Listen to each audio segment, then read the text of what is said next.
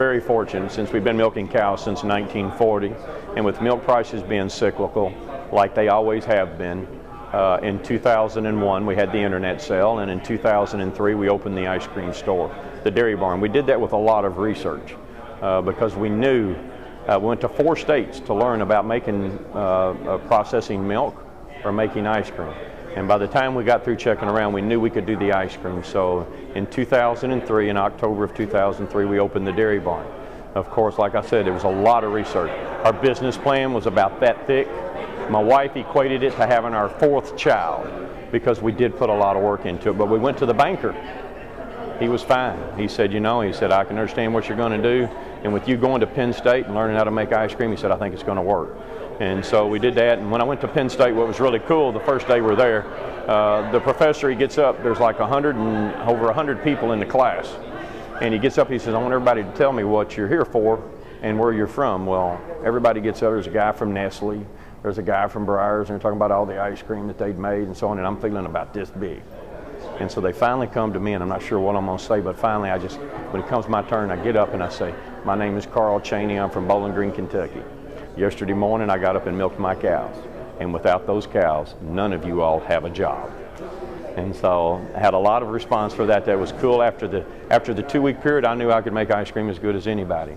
We came back to the dairy barn. We'd already had some ideas of what we wanted to do. The farm tours was a no brainer because we have to have advocates for agriculture because there's too much news that's put out here that are not from agricultural folks that really do not know the real truth. And so we felt like that it was important. So the first year we had 4,000 kids go through our school, our school tours. This last year in 2010 we had 8,000. This year has been the busiest spring that we've ever had. Um, I, I don't know where it's going.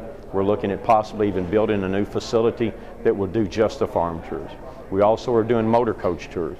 Senior citizens love to come out to the farm and see how things are being done now considering uh, there was one lady from North Carolina came in one day and she says, when I found out that we were going to go to a farm, a dairy farm, she says, I was like, just leave me at home.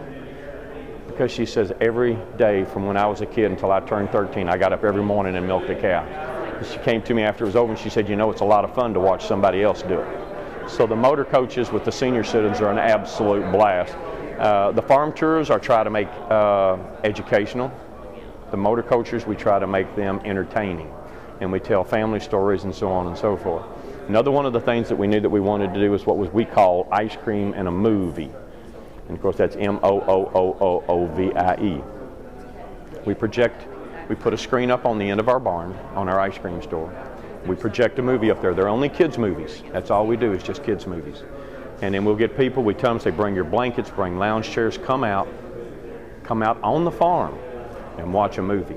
At the beginning, we were having maybe 50 to 100 people on a night. Now it's not uncommon to have four to 500 people that will be coming out there and watching the movie on the side of the barn. Of course, now we've got them, so let's educate them a little bit. We have Miss Glimmer, our spokes cow. We have a video of her. We actually caught her speaking down at the farm one day. She had her hat on, and she talks to the people about coming out to the farm, about how she loves to be how she's milked twice a day, how she loves being on the farm, even shows her as a little baby calf jumping around. And then it actually shows people her being milked. It shows her as we're making the ice cream from the milk and so on and so forth. Uh, we also have just started last year, which has been a fan favorite, is Lee Greenwood's God Bless the USA. And it's, it's to the uh, combines going across the fields with American flags. And I mean, there'll be servicemen that will stand up and salute. People will put their hand on their heart. Some people even get a little emotional. But it is a tremendous thing. And these people now have got a little idea about what agriculture is all about. And if they see something on TV now, you know, I think they're going to question it instead of believe whatever they heard. So we've been very fortunate. We've, we've grown quite a bit. Uh, and I'm, I'm interested to see what's going to happen in the next few years.